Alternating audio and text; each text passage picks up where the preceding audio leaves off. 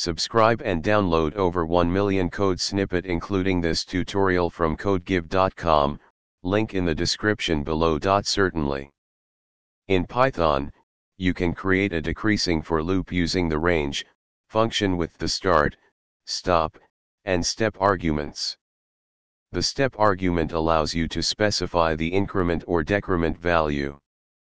Here's a step-by-step -step tutorial on how to create a decreasing for loop in Python with a code example. The range function is commonly used to generate a sequence of numbers in Python.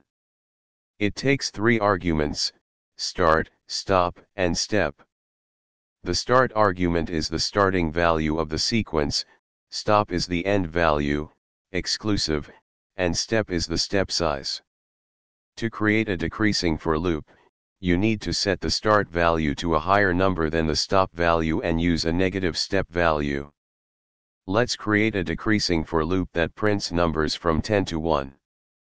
In this example, the loop starts with i being assigned the value of 10, start, decrements by 1 in each iteration, step, and continues until reaching 0, stop.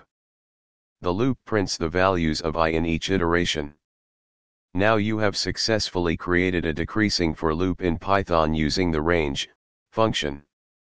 You can customize the start, stop, and step values according to your specific requirements. ChatGPT